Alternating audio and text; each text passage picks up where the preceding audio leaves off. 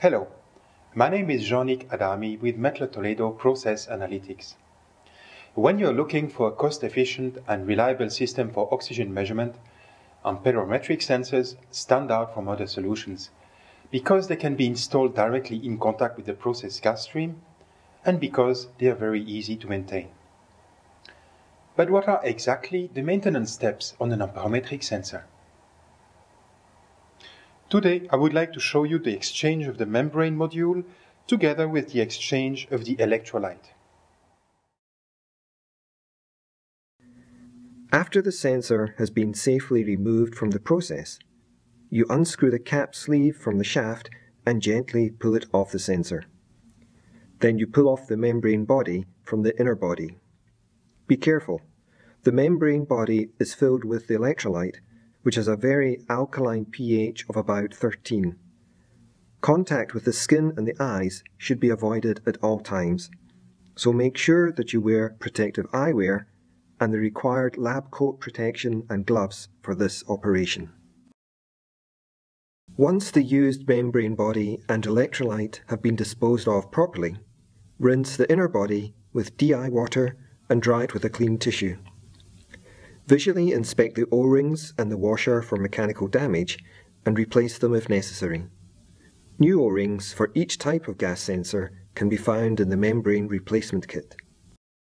Take a new membrane body from the replacement kit and half fill the cavity with the electrolyte, which is also part of the kit. Make sure that the electrolyte is bubble free. Air bubbles can be removed by carefully tapping on the membrane body. Slowly slip the membrane body over the interior body while holding the sensor in a vertical position. The excess electrolyte will be displaced and should be removed using a tissue. Carefully slip the cap sleeve over the fitted membrane body and screw in tightly. The cap sleeve must be clean and dry. Clean up all excess electrolyte using a clean tissue. After each replacement of the electrolyte in the membrane, the sensor must be polarized over a period of 6 hours or more. For polarizing the sensor, three options are available. You can use our polarizer and checking unit called Sensor Master. You can use the transmitter the sensor will be connected to during operation.